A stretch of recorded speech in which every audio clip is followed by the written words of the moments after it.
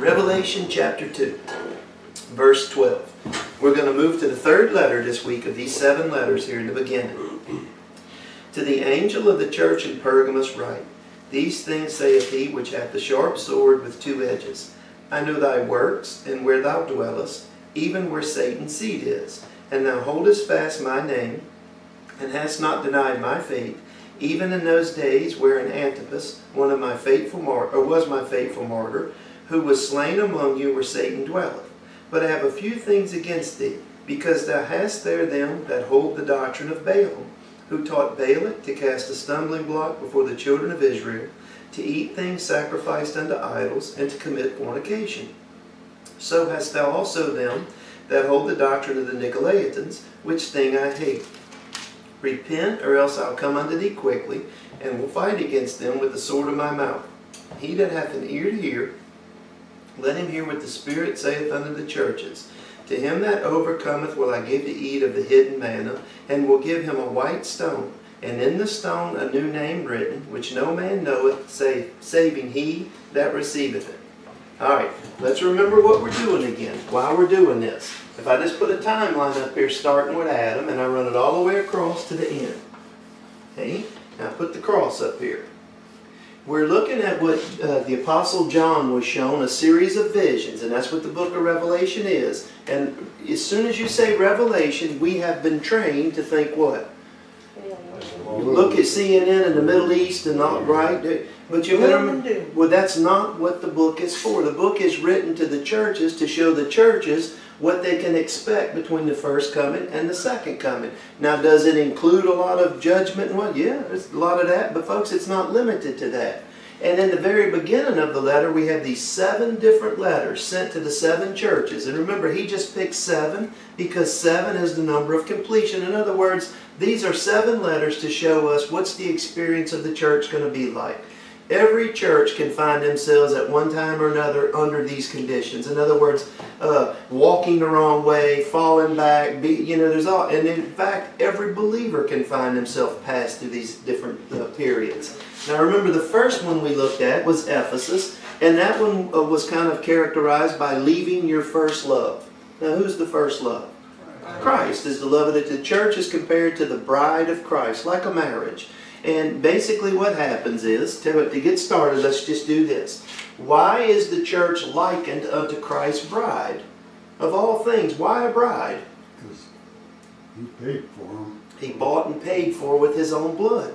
And the picture is not that he went and found him some uh, some beautiful, glorious, rich woman with a dowry. That's not the picture at all. The picture is that he found a woman who was enslaved. Remember in the book of Hosea, you've got the picture. The Lord told Hosea to go marry a harlot, didn't he? And he said he married the harlot and said she's going to be unfaithful to you, and she was. And he put her out of his house. She got she fell so low that she became a slave, and there she is on the slave block being auctioned off. Now y'all can imagine a woman in the Roman Empire being auctioned as a slave. It's going to be more than cleaning house. She's going to be. It's going to be real bad, isn't it? And they're they, they're all making fun of her because her reputation is so bad. She's just you know just in, and the men are joking and laughing. Nobody's even going to bid on her. And all of a sudden, from the back row comes a bid of like we would say today, ten million dollars. And everybody turns around to see who in the world would pay that for this woman, and it's Hosea, her husband, isn't it? And the picture is that he's redeeming her out of slavery, right? Now, how are we all born into this world? We're born slaves. Right, slave unto sin. We're a slave unto sin. And the reason we're slaves unto sin is because of the choice of Adam. It's just like right now, okay, I'm not Irish, I'm American. Did I choose to be an American? I'm here because of a choice of my grandfather. In other words, he left Ireland and, and chose for me, didn't he? He chose for all his offspring when he made that choice. Well, Adam chose for the entire human race when he rebelled against God. Therefore, when Adam had children, Adam was created in God's image, but when Adam had Cain and Abel, what does the Bible say? They were born in the image of Adam. And what is that? It's a sin nature. And we've all got it. And it persists all the way down through all time. Now, just because someone gets saved, does that mean they're not a sinner anymore? Still a sinner. You're just a redeemed sinner, aren't you? So this sin is passed along. I'm a sinner because my mom and dad reproduced after their own kind. And what were they? Sinners. And it just keeps going back. So when you read sin in the Bible, don't think drinking, smoking. People say, well, that's a sin, and that's a sin, and that's a sin. No, those are sins.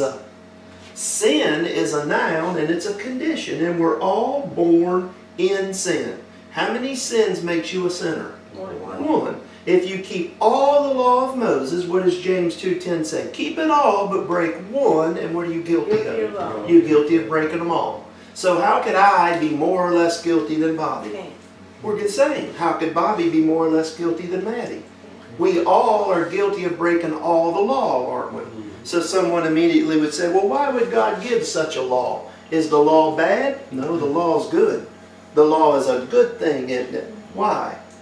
Sin. Show you. Yes. You know, a fellow told me one time he was mad about a diagnosis he got that he uh, he had cancer. He was mad about the diagnosis. He said, "I wish I'd have never went to the doctor." Mhm. And I said, "Well, I, no offense, but that's a dumb thing to say, isn't it? That that that found the problem, didn't it? And he was getting treatment, and he's still alive today. I'm sure today he wouldn't say that, but he started getting treated. Would he have ever known to even address the disease if he didn't have the test? Well, what did God give Moses law for? a test for all mankind. Paul said, We know that what things soever the law saith. I'll just put the law back here. He said it says it to every man, and in order that he might walk right before God, No. become guilty before God. Now, why would God want to declare the whole human race guilty before we were even born? To show us. We can't glory in ourselves. We can't glory in ourselves, that's for sure. But let me ask y'all, this is legal legal talk. The book of Romans is the most perfect legal document. Even judges today will tell you, yeah, it's a perfect legal document. All right? In the book of Romans, what's the first thing Paul does in the first two and a half chapters? He declares all mankind guilty, doesn't he? Right. All of them. Now, why would God want to find everybody guilty? Can you pass sentence before you're guilty? No. You got to be found guilty before sentence is passed, right? If he did that to us, he was gonna give us a way out. That's right. So you got it. And because he passed guilt, look, we were all found guilty way back here. See, Jesus Christ died. Today we're over here, and Jesus Christ died 2,000 years ago, roughly, didn't he? But did he die for your sins? Were you even born yet? No. Well, then how could he die for you before you were even born? You never hmm. proved any guilt. You weren't born yet. Fulfilling that first. God already declared you guilty by His law. God proved that no flesh can be justified by the law. And we're flesh, aren't we? So we were found guilty before we were ever born. Thank God Jesus Christ died for us. Before any of us in this room was ever born. He died, didn't He? Okay. When Jesus Christ died, did He take upon Him our guilt? Well, how was that legal? Because the law found us all guilty. Christ died for all of us. God not only imputed or, or credited our sins to the account of Jesus Christ, He also credited our guilt. Now, what, who in the world can get rid of guilt? It's impossible. Folks, you can't, it's impossible on this earth to get rid of guilt. All right, now you could be wrongly accused, but you ain't guilty. So you, that's just a wrong accusation. Okay, how about a guilty man gets pardoned? They pardoned him. He's in the electric chair, and at the last hour, the governor calls and they stop, right? Is that man's guilt gone? No. Still guilty. He's still guilty. Everywhere he goes, people will say, hey, there's that guilty guy that got out of going to the chair, right? All right, what about if a man's guilty and he goes to jail and serves his sentence? Still guilty. Still guilty when he gets out. How about if a man's guilty and gets away with it? He's still guilty. He, y'all know there's people walking around right now. We'd see him, we'd say, "Yeah, I know he did it. Yeah. Well, Sully raises his hand. But hey, what I want to show y'all is that God put our guilt to the account of Jesus Christ. So what we've basically got to understand is the reason that we're called the bride of Christ is because when a sinner will acknowledge what they are in Adam, I am a doomed, damned sinner. And that's where I, I'm going to go to hell if I don't get saved. And that's where I deserve to be. Because I've not, not just born in sin, but I've chose to sin. I spent all my life in rebellion. So now, if I'll just acknowledge what I am, then I can begin to see what Christ did for me. You know, Jesus said, They that are whole or healthy need no physician. Well, who goes to the doctor? Sick people. Who is the Bible? Who does the Bible consider the great physician? Christ. Who goes to Christ to get healed? People that know they're sick. Well, are we all sick with sin? Yes. If you right now will just acknowledge, and you ain't got to go anywhere, why ain't nobody gonna give no invitation, you ain't gotta go, there's no such thing in the Bible. You've got to acknowledge between you and God what you are and what you need. We need a Savior, don't we? And when we do that, in the blink of an eye, we are in God's mind translated out of this, I'm put this, this is a kingdom down here, out of this kingdom of this world. It's also considered the kingdom of the devil. And we are translated out of there into the kingdom of God, aren't we? But you can't get into the kingdom of God without being changed. And I'm going to change colors to blue here because that's exactly what God does. He changes us. Now, it doesn't mean this change that, oh yeah, I used to be a sinner, now I'm perfect. It doesn't mean that at all. It means I used to be in Adam's family, and what happened when I got saved? Now I've been put into Christ's family. How did I get into Christ's family? By being joined unto Him. That's why it's called a marriage. Here, I'll use the example. I always use this, and I know y'all get sick of hearing it, but I had a friend that was, um, she, we worked out at the same time at the gym, and you kind of get to be friends with everybody that's, because you're all there at the same time, and we would go uh, eat a lot. We were sitting in Zea's one night, and um, man, she was just, just this beautiful girl. And I mean, everywhere she went, everybody stared at her. And she told me sitting in Zea's, she said, I'm going to be a millionaire. And I started laughing because she worked at Sawyer Furniture. I said, now how are you going to get to be a millionaire working at Sawyer's Furniture? She said, no, I, I can't do it working there. See, she had been trying to work her way there and had failed. She had finally come to the, I'm never going to get there this way, right? So she said, I'm never going to get what I want by my works. She said, but I'm going to marry a millionaire. And I looked at her and I thought, yeah, that, that probably could happen. Y'all know what happened with her about, about two years later, I guess. She married a millionaire.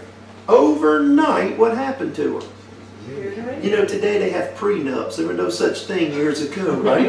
but in the blink of an eye, she, she located the person that had what she wanted, she didn't have, and she got joined unto him. You know, when two people get married, they become one, don't they? The Bible shows that it's like a new creation. You know, you could have uh, Mrs. So-and-so. It never before had that person existed, right? I got Maddie. Maddie, what's your maiden name? Lord, Moore? Okay. Maddie Moore. That's her. There she sits. But is that her? No. Y'all know who that is? That ain't even Maddie. That's Mrs. Al Asher. Isn't it? Had, had that, is that something new? The two become, no, don't say that. The two become one, right? And so then what happens when you get married? In, in old times, forget about prenups. Does the lady get a new name? Does the lady get a new residence? Does she get a new inheritance? She gets new family. She gets new everything, doesn't she? If you'll just believe on the Lord Jesus Christ, that's what's put to your account. You're joined unto Him, and therefore you go into the family of God, not because of anything you've ever done, because of who you're joined to. Okay, so that, that's how simple this is. Now, these letters that are written are written to the church, the bride of Christ. And yet the letters are written to local churches. And what did Jesus Christ say the church was going to look like from the first coming to the second coming? Was it going to be pure and unmixed? He said, look, here's what it's going to be like. The visible church is going to be full of all kind of bad things. He said it's going to be the true and the false right there together, isn't it? It's going to be goats and sheep, wheat and tares. And so basically what we've got in these letters is we've got uh, pictures of the church and her condition, pictures of believers. And in this one right here, remember the first one was Ephesus had left their first love. I use the example of the seven-year itch. You know, the, the so-called seven-year itch, the movie said at seven years a man starts to look around. He's kind of gotten tired of his wife. Well, in the picture of Ephesus, you had a picture of a church who started out with, with a burning zeal to serve the Lord, and now they're starting to kind of look around at the world. They're leaving their first love. Now that's a church doing it, but folks, you've had the church as a whole in the world doing it. You've had one church somewhere doing it for a while. You've had believers that have done it. Right now, we probably got all seven of these right sitting here amongst us, don't we? Don't we all know what it means at certain times to just kind of lose that burning passion and kind of turn away from the Lord? Amen. We all kind of get spiritual depression because, look, Christianity is a long, long life, isn't it? So that's Ephesus. The next one was the persecuted church, persecuted for what they believe. Now, in our country, we've never physically had that. Uh, we've sure had it other ways, haven't we? But what about other places in the world? Folks, there's Christians getting killed right now this morning just because they're Right. Christians. We don't even hear about it in our country. Right. If it was somebody dying for anything else, it would be all over the news. But because it's a Christian, it won't be on there. All right, now, the third one we get to is Pergamos. And the Pergamos church, whereas the first one was that which was falling away, this Pergamos church is the over-tolerant church. That's kind of what I kind of called it. They're over-tolerant. Now, immediately somebody would say, well, wait a minute, aren't we supposed to be tolerant? Yes and no. We're supposed to be tolerant, but we're supposed to be intolerant about other things. Now, I'll show you what I mean. All right. First off, Pergamos, the city of Pergamos. It's located in what we would call uh, uh, eastern, no, western Turkey today. Okay, that's where it's at. And it, it was the it was the capital of the Roman Empire in Asia. It was the head city. It's where the judgment seat sat. So it was a big, big, powerful place. But in this place, they had this cult, and I can't say this. Any of y'all know Greek mythology? No. As- Asclepius, Ascul, I can't say it. I'm sorry. It's a it's a Greek god who's the god of healing and medicine. Okay, he, he's y'all know you've ever, we've seen the surgeon's thing or the doctor's thing with the snake on the pole. It, it, it came from here, and no doubt they, they got it through the idea of what Moses did. But it, it's he's the God of healing. Tell you what, I'm gonna write it up here, and y'all can look it up and learn how to spell it yourself. It's Ah Asclepius. Asclepius? Looks right for me. Asclepius. Anyway. Or a, Well, this is the God they worshipped in this town and in, in this area, and he's the God of healing. Supposedly it's Zeus' son by some woman, and there's all kind of stuff with it, but he's the God of healing, he's the God of medicine, and he and his daughters are believed to have the power of resurrection. Okay, that's what they believed about this thing. Now, he presented, uh, or he represented medicine and all the arts of healing, and again, the staff with the snake on it. Hey, y'all know we've heard about the Hippocratic Oath? Do no harm and all that. When they first started taking it, the first part of it, they swore in the name of Ashku, whoever. That's how they started the oath. So that's what they worshipped in this town. It was it was symbolized by this by snakes. And it's if y'all ever heard of Pythona, it's where we get the word python from. They had a temple and all this stuff going on here. That's why it says it's where Satan's seat was. This is where they worship this stuff. Now, who's the serpent the symbol of in the Bible? The devil. So it, what he's basically saying to this church is, look, you're located right in the center of some horrible stuff. Now you say all churches are, yes, but in this case they're located in the center of something really bad. Now, what about us? Folks, we're in this world, aren't we? You know, there were times when you could say this world wasn't as bad as it is today. I don't mean that there wasn't a sin, this world system. Are, are we living in a system that is right now uh, quickly being geared against anybody that believes in the Bible? Yes. It is. That they're going to make the Bible hate speech. And they do it with, you know, pushing, say, well, y'all hate gays, or you hate this, or you hate that. No, I don't hate anybody. The, the point is they're saying the Bible is hate speech, and y'all know how all that goes. But anyway, in this town they lived in, let's say, imagine that you were a Bible-believing Christian and you moved to Vatican City, right? Now, how would your life be in Vatican City as a Bible-believing Christian? You're going to have a rough life, aren't you? Number one, you're going to get a job. Folks, you check that mark, they're going to have that box on there, you know, and you check that box, you ain't going to get a job in that city, are you? Are you going to have many friends? Are you going to get persecuted? It's going to be rough. Well, that's the kind of thing this church was. The church in Pergamos was sitting right in the center of this, this pagan worship. And all the towns had different things, but this is where they are. Now, when he says, uh, when I say this church is characterized by neglecting discipline, we need to talk about what is discipline. Um, are we supposed to be judging each other's sins? Judge our soul. You judge your own self. Folks, we ain't, I don't have time to judge any of y'all. I got all my own problems, right? But people say, yeah, but the church is supposed to judge. Yeah, we're supposed to judge what we present as a group, aren't we? In other words, let's say, um, all right, uh, Sully's an Irishman, so I use Sully. Me and Sully understand. Let's say Sully shows up drunk.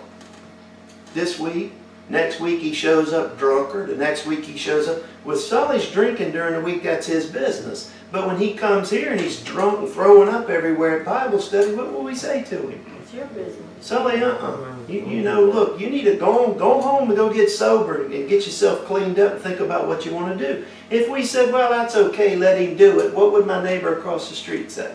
Well, look at that. You see there, Christian, see them? See what they're doing? And, and it's just, it's an idea for someone to, to throw rocks at, at the church is all it really amounts to. Now, in the case of the church at Pergamos, I just want y'all to go back and look at verse 12.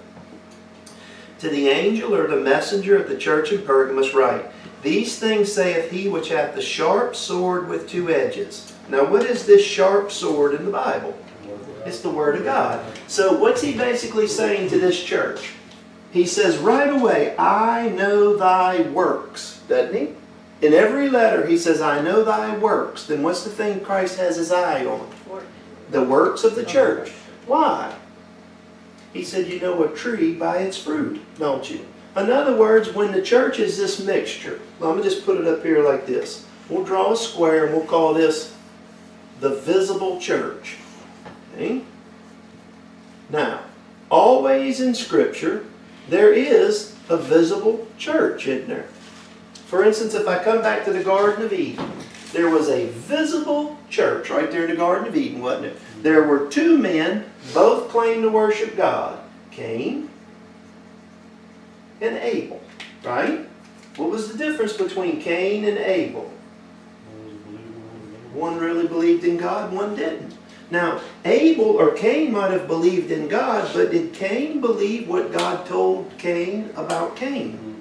Cain didn't believe that his works were unacceptable. He believed that he could work his way into satisfying God. And he proved that with his sacrifice, didn't he? What did Abel do? Abel trusted the blood sacrifice. So the difference was not in their sins, the difference is in what they believed, didn't it? Now, Abel was a true believer and Cain was a false believer. And there they were, both of them there offering their sacrifices together. And that's a picture. In the church, you've got the visible church. And yet, in the visible church, you've actually got the true church. And look, don't think I mean this is some denomination or something. I don't mean that. It, God's people are everywhere, aren't they? But is everybody you see organized as worshiping Christ really worshiping Christ? But amongst those worshipers, what do you have? You've got the true. It's, it's called a remnant in the Bible, and you have them there, right? Now, what we're going to see in this letter of Pergamos is this that the true church is, is, is not um, monitoring what's going on with this other group. In other words, there's those among them that are still going to the pagan temple and worshiping the serpent. And in those pagan customs in Greece, y'all remember what else went with it? They had the idols and they had the prostitutes all mixed with it and worshiping fertility, and it was all just a big, it was a big drunken feast and, and whatnot, what they were doing. So basically, when he writes to Pergamos, he says, I know thy works. Now, how do you determine the difference between the true and the false? By what they say? No, the Lord says you watch the works. Okay, you watch the works. Now, does that mean that we go around and I'm expecting your fruit? Well, I'm going to keep an eye on Bobby. I mean, I heard yeah. That ain't the idea at all, is it? it? The idea is just in general, what do we do? We look and see what is this, this that we're producing. That That- neighbor needs to see something good coming out of here. Hey, You know, there's a little church down the street. They got a sign. You know, they always put those signs up with something kind of try to catch people's attention or whatever. And usually they're just kind of corny. But I saw one that's uh, been up for about a month now, and it's very true. It says, "Be careful. You may be the only Bible some people ever read." Oh, There's a lot of truth to that. People don't read the Bible today, folks. They say, I don't have time, but what are they all doing? You say you're a Christian, they watch you, don't they? They'll watch you like a hawk. Make a mistake, what do they say? Oh. Aha! See, just like me. That just You makes could them ask feel me. better about their own sins. Huh? It just makes them feel better about their own sins. That's all it is. It's human nature. Y'all know misery loves company. Mm-hmm. He, what it really boils down to is it- it's it's it's not their fault, folks. It's our fault. Let me show you what I mean. Do you always have people professing to believe Christ, and yet do they really believe? So they say they're Christians, and then what do they do? They just live like just horrible. And so what are they're false Christians? But when you say Christian, what's the world mostly see? Damn. false Christians. So then what do they say? Hypocrites, hateful, this and y'all know there's a church up somewhere in New England that has done more harm in the name of Jesus Christ. I, I have no idea what they believe. It's something or another Baptist church, and I know this. They're constantly picketing a gay wedding. They're constantly showing up at abortion clinics, and uh, y'all, y'all know what I'm talking about? That, that Westminster, something I think they're called. They're constantly going somewhere as a group to make fools of themselves. Are we called to do that in the scripture? Nowhere. What are we called to do? Preach the gospel. Yeah. Preach the gospel. Okay? Now, because of these tares among the wheat, he's telling the church at Pergamos, you need to get the tares out of there. Now, it's not that we're going to go around and say, oh, I'm watching you and all this, but when something is commonly reported, is it a problem? Now, flip over to 1 Corinthians 5. I'll kind of show you what I mean.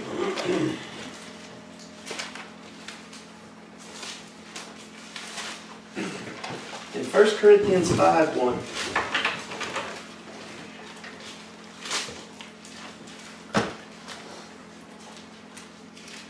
You know, those that, that watch us and when we do mess up, they understand the, the battle, the struggle that we have, you know. And when we do fall, you know, they don't understand that. Hey, you know, the- Lonnie, it's understandable though, and I used to think the same way, and I, hey, I can have compassion on how they're thinking because when people present themselves as holier than thou, number one, you feel like they're condemning and looking down your nose. So then when you see them do something, you do feel like, well, look at you, don't you? It's natural. Well, who told a Christian never present himself as holier than thou? Who, aside from the Lord Jesus Christ, right? Who would y'all say was the most prominent Christian worker that ever lived? Paul. Paul, Apostle Paul, right? He even said that he, he labored more than all the apostles, didn't he? All right, over the course of Paul's life, we've got a great example. The more Paul learned about the Lord and the more he worshiped over the course of his life, the more he learned about God, did Paul begin to say, Boy, I'm getting more and more like him every day? Look at me. No, what was happening?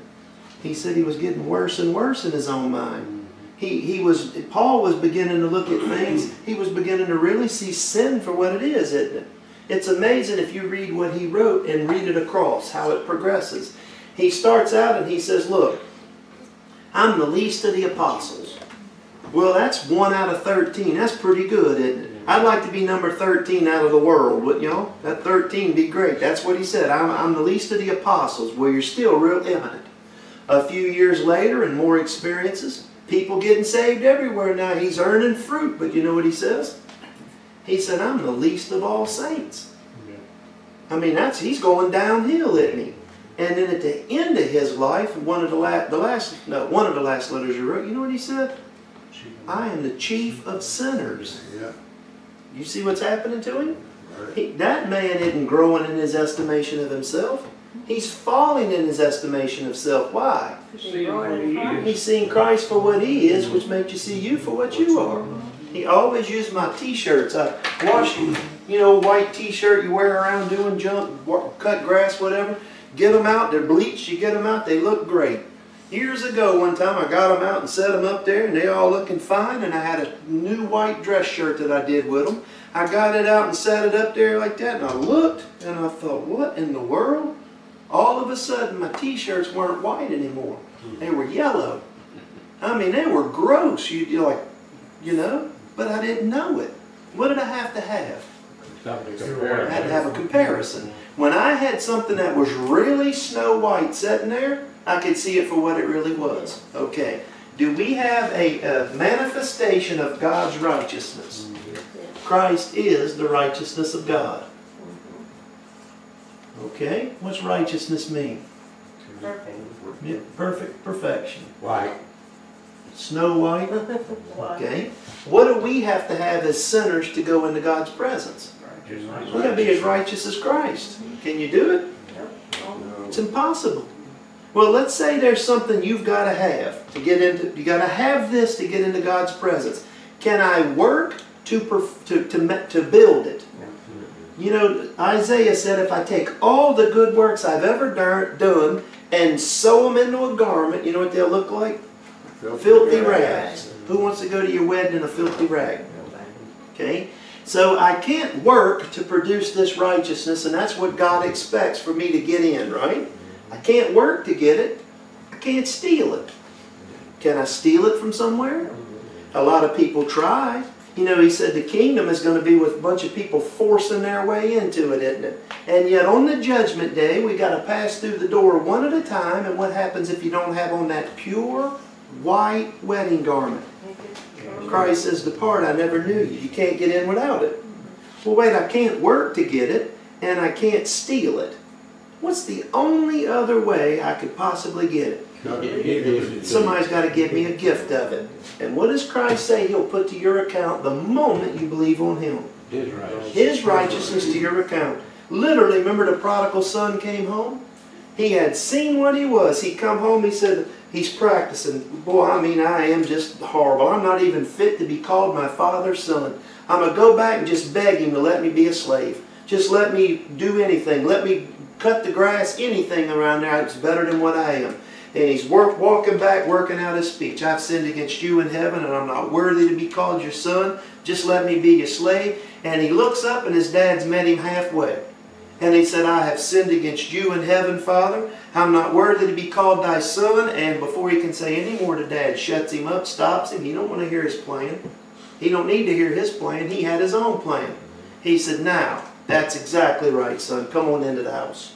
And he brings him right on in, and he puts the best robe on him, and puts a signet ring on his finger. He gives him power of attorney. That's what it amounts to. Well, what did the older brother say? How dare him? I've never offended my father. I've done this and I've never sinned against my father. You see the difference between the two? A lot of eyes in there. One of them's telling you what a great worker, how perfect he is. The other one's got out there and learned what he is. He's nothing. Nothing. Which one of them's calling on the Father to accept him? Nothing. The nothing one. And that's exactly what this life is about, folks. God put us on this earth so that we can see what we are. You got to don't compare yourself to the guy next to you. And me and Bobby gonna stand here and see who's got the nicest this or that. No, it won't work. I don't need to compare with Bobby or Bobby with me. If I want to see how righteous I am, I don't say, well, I know I'm a sinner, but. People say that to me all the time. It just, it's horrible. Now, what's going to come after that statement? I'm not as bad as you. I'm not as bad as so and so, or I've never done this, or I always go here, I do that. They're going to tell me some merit they have that makes them better than another person, right? Who are they comparing themselves with? Other dirty rags. Well, yeah, I got a, okay, I can go get a dirty shirt and compare it with the one I uh, was, was sawing or sanding in all day yesterday. Well, the dirty one looks, you know, don't, but you ain't what you got to compare it to. God said if you want to go to heaven, stand next to Christ. Do you look exactly like Him in His righteousness? You can come in. Well, do we? No. Not unless we trust Him. When you call on Him as your Savior, you're joined unto Him, and guess what? When the husband goes into the feast, you go with him, don't you? You're one one unit. All right, so now, with the church in Pergamos, they've got a problem with their discipline. And the reason they've got the problem is again because what the church is going to be from the first coming to the second coming. It's going to be an admixture. An admixture of true believers and those that just profess to believe. And it's always been this way. Israel was an admixture. It's, it's always that way. So now in 1 Corinthians 5, we've got an example here. Verse 1. Paul tells the church at Corinth, It is reported commonly. Now that's the key to the whole thing. How do we say reported commonly today? Everybody knows. It's well known, right? Oh. The whole time. It is reported commonly that there is fornication among you, and such fornication as is not so much as named among the Gentiles that one should have his father's wife. Now consider this. These are a bunch of pagans, and Paul says, Y'all got something going on there that even the pagans don't would frown upon. You got a man fooling around with his father's wife. Now there'll be some that say, well, that's incest and that's why it's bad. It doesn't matter whether it's his mom or his stepmom. That's not the issue. The issue is, does everybody know this is going on? Mm-hmm. And what are the people in the town saying? That's some Christians. He, a, a, a fella told me one time, he, he asked me if I was a Christian. And I said, yeah. He said, you believe in four gods. And I said, what? Four gods? What are you talking about? He said, you do? You're a Christian? I said, yep, four gods. I said, who? He said, Father, Son, Holy Spirit, Mary. now, you know, in that man's estimation, he meant that. He was being honest. Well, what's the only experience he'd had with somebody calling themselves a Christian? A Catholic. So he thought that's what Christianity was. What would the people in Corinth say when someone said Jesus Christ? No thanks, I don't want to sleep with my mom. Right. Think that would be the attitude? Now, it, this is not just a situation where, okay, if this is just uh, somebody's doing something immoral, right? If everybody knows about it is the issue. If everybody doesn't know about it, then it's not an issue publicly for the church to deal with amongst themselves. It's an issue for them to deal with with God. Let's do it this way. Do we going to hire a private investigator? Do y'all know what I was doing last night? Well, how do you know you can have fellowship with me? I just thought about it, sometimes you'd have to hire one, to find out some were Christians. Yeah. I mean, seriously, what are we going to do? Am I going to get? I'm going to get somebody to follow Bobby and Maddie and Al. I, we'll find out, then we'll meet, and I'll let y'all know what we come up with. Folks, that ain't the issue. The issue is it's commonly reported. I'm not making light of sin, but we're sinners, aren't we? Nobody's saying sin is okay. We're supposed to be uh, uh, growing in Christ. But with this group, he says this is going on, and watch their reaction to it, verse 2. And ye are puffed up, and have not rather mourned that he that hath done this deed might be taken away from among you. What's their attitude about this thing? Well, we're, look how forward thinking we are. We're liberal minded. Man, we're a modern church, you know. We, we're okay. He, uh, I, don't even know how to go about saying how to, okay, when something is commonly reported. We once had some folks come in here and uh, they brought a, a, a man they know, and this man was having an affair with this lady and was carrying on with this lady, and the other lady told everybody about it. Talked about it nonstop. Remember Lexi? And, I, I tried to talk to her one time. I go, look, number one, this is his business, you know, but she just kept going on.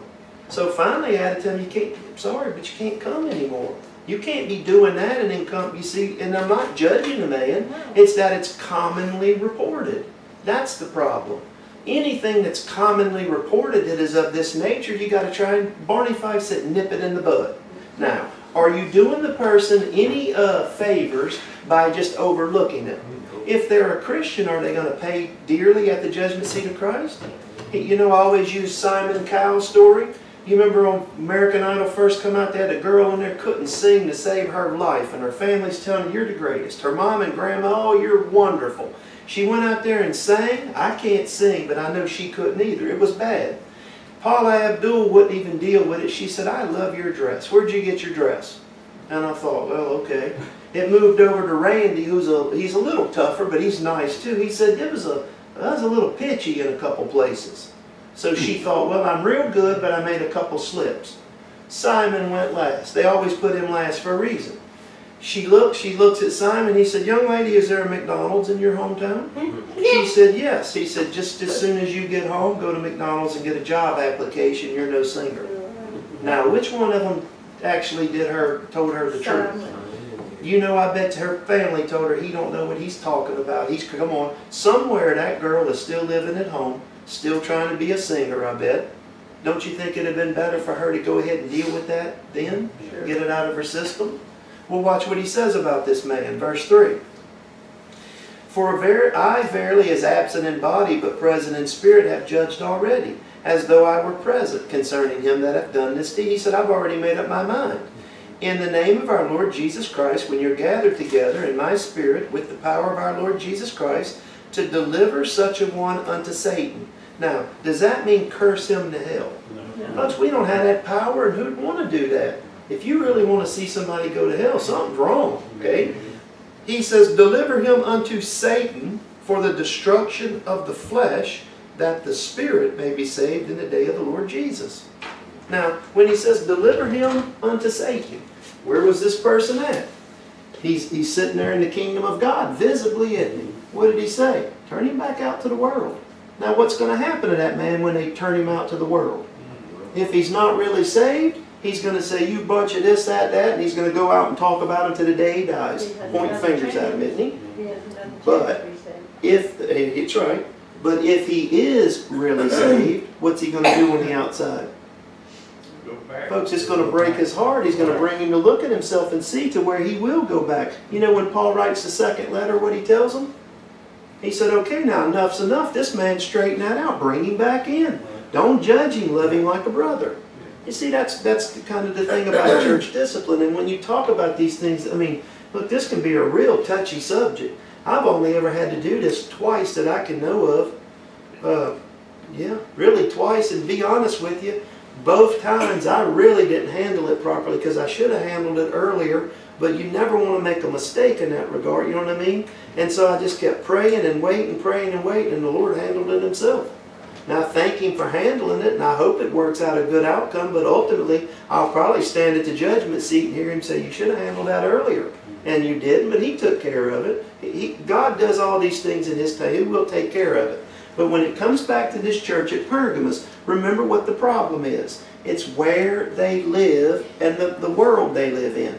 Notice what he says. Flip back over to uh, Revelation 2.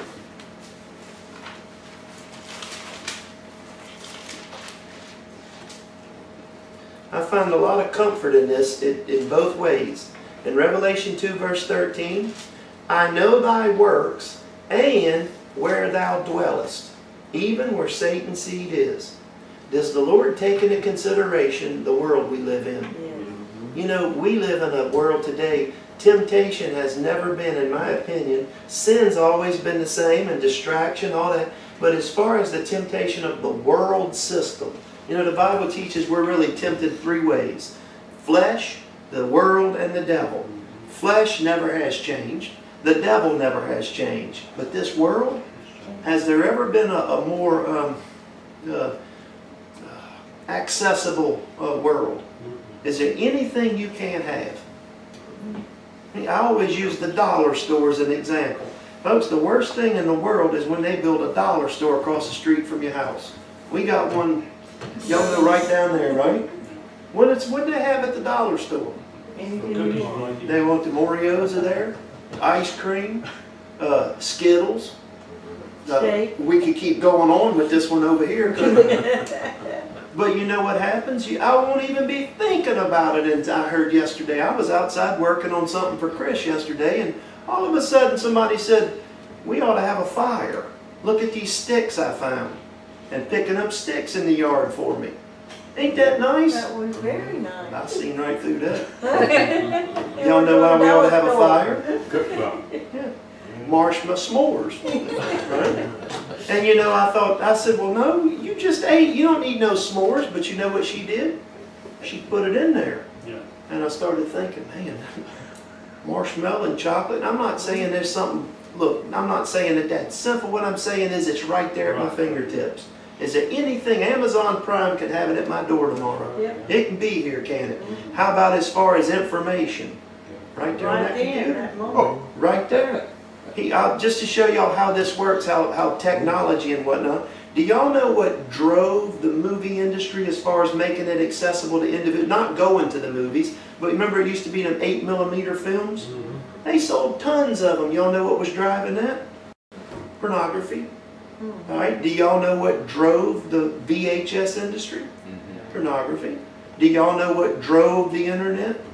We're not- It's the same thing. In other words, that's just, and that's just one, one version. It's, it's just showing you, it's right there, isn't it? Okay, so we live in a world like that. And the Lord says, I know where thou dwellest. Where do they dwell? Even where Satan's seed is. And the word seed is the same word translated throne. Now, who does the Bible say is the God, little g, of this world? Satan. Okay. What does it mean by world, by the way? System. This system.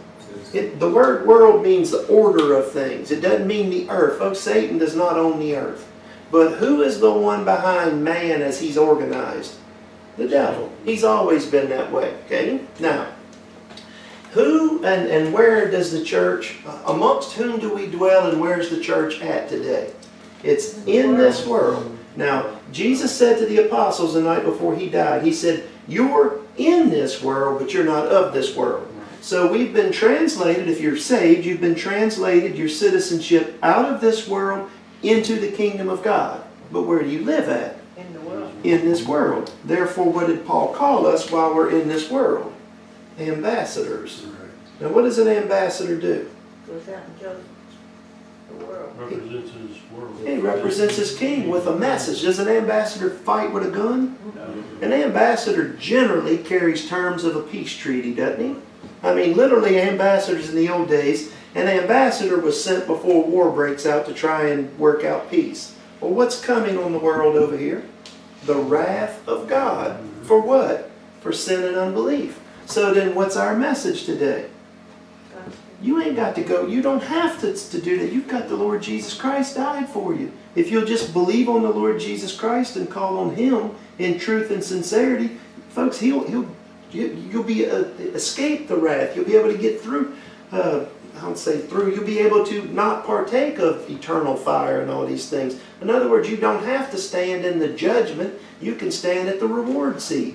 So when an ambassador goes out, an ambassador's message is important, isn't it? Mm-hmm. Can he change his message? Can he alter his message? If he does, he's not a proper ambassador. Where's his message come from? Straight from the king, okay? What's the message that we carry today? It's the gospel. And the gospel, folks, is that the Lord Jesus Christ, the Son of God, came into this world and died for us. And that's the thing that can set a person free. If you believe that He died, He was buried, your sin was put out of the sight of God, and God raised Him from the dead. That's the gospel, right? Mm-hmm. Now, an ambassador's message is the most important thing, isn't it? But there's one other thing that's real important. In your heart. Well, he's going to have to believe his message or he ain't a real ambassador. Go Let me ask y'all, what kind of an ambassador, let's say you had a message to, um, uh, you know, uh, I got a message to uh, Iran, right? Let's say, let's use Maddie.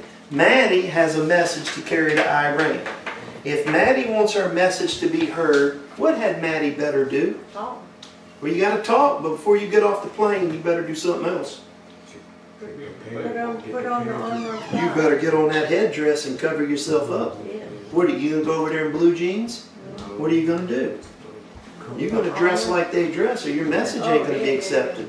In other words, the the uh, the walk of the ambassador matters, doesn't it? Yes, it does. So then, if Maddie's gonna go over there and be heard, she's gonna have to make sure before she ever delivers her message, which is offensive, that she herself is not offensive, isn't she? Now, why is the gospel of itself offensive? What's the first thing the gospel tells a person?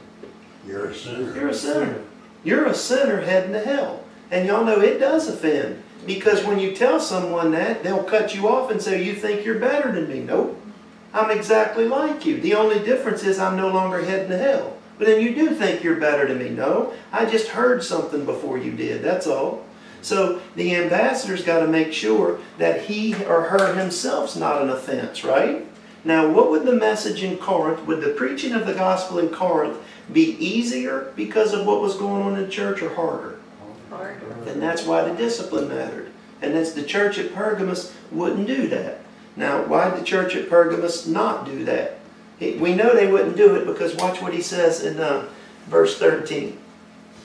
I know thy works, and where thou dwellest, even where Satan's seat is, thou holdest fast my name. They have not denied the name of Christ. He says, and hast not denied my faith, even in those days wherein Antipas was my faithful martyr, who was slain among you where Satan dwelleth. And by the way, slain where Satan dwelleth, the, th- there was a man named Antipater, and Antipater, and that's who they say this is referring to, I don't know, but the way it's worded is he wasn't just slain in the city, he was slain before the throne. In other words, they carried him into the temple and offered him as a sacrifice, that sort of thing. Now, have these people stood up to physical persecution? Yes, they have. But guess what? Satan's got a more effective tool, doesn't he? What always is more effective than outward persecution? Inward. Inward corruption, right? So that's why he says next. But even though you've stood up to the outward persecution, I have a few things against thee. Because thou hast there, in other words, among the church, you have there them that hold, and by the way, that word hold is the exact same up in the uh, verse 13, hold us fast. It's not, you've got some that believe this, you've got some that hold on to this and aren't letting it go. You, you've talked to them about it being wrong, and they, they, they this is what they're going to do. They're hanging on to it, right? Now hold that they hold the doctrine of Balaam. Now what have I told y'all is the key to understanding the book of Revelation? If there's a key, it's symbols, and where do you understand the symbols from? Old Testament, folks. This is a bunch of Old Testament symbolism. Now, if you, we're going to take a break in a second, and we'll look at Balaam. But Balaam was the key to understanding this. He says you've got some there that hold the doctrine of Balaam, who taught Balak, another king, to cast a stumbling block before the children of Israel, that would be God's people, to eat things sacrificed unto idols and to commit fornication. He, you know, let me put it this way. If you want to get along in the world, what do you do? You go along. To get along, you go along, right? When they persecuted them, they stood up fine for that. But would they stand up to the just general corruptions? Mm-hmm. And Satan always, that's how he works, isn't it? Folks, outwardly attacking God's people never works. All you do is run out the unbelievers and you really got a strong group, don't you? But when all these false believers come in and prosperity and good times, that's when the church gets in trouble. Because they bring in with them all that other junk and the world sees it and they, it's like they look and they say, well, hold on a minute. I can't tell the difference between the church and the world. Are you, you're who? You're saved? I've told y'all before about one time I hadn't been saved long, and there I am sitting at a table in a Mexican restaurant with a friend drinking a margarita, and the girl come up and said something. I started talking to her about the Lord, and she looked at me and smiled and looked straight down at that frozen margarita. She just stared right at it. Y'all know what she was right too. You know what she was telling me? I don't see no difference between you and the world. What's that? And basically, she was letting me know what kind of hypocrite are you? Now, can a Christian drink a margarita? Yes. But are you going to be an effective witness if you do it? No. Not to her. You say, well, to somebody else, and people always say, yeah, but if you sit down and have a drink with them, then they'll see you're just like them. I No. guarantee you, when you say that, all you're really wanting to do is justify what you want to do. Hey, I'm not uh, bashing anybody's drinking or anything, but let me say this. If you're going to preach the gospel, just don't fool with it. Just, just leave it alone, okay? He, I know uh, me and Wayne joke, Wayne said, how good's a cold beer back there in your backyard down beside the fence after you Yeah. cut the grass. in other words, huddled up back there drinking a cold. Well, what he really means is, have my neighbor sees me, even though that beer ain't going to hurt him. But I mean, Paul told Timothy, have wine for his stomach. It's not that. What it is is, will it harm Wayne's ability to share the gospel with his neighbor? Then the best thing to do is don't let your neighbor see it or don't do it. Okay. All right. Let's take a break.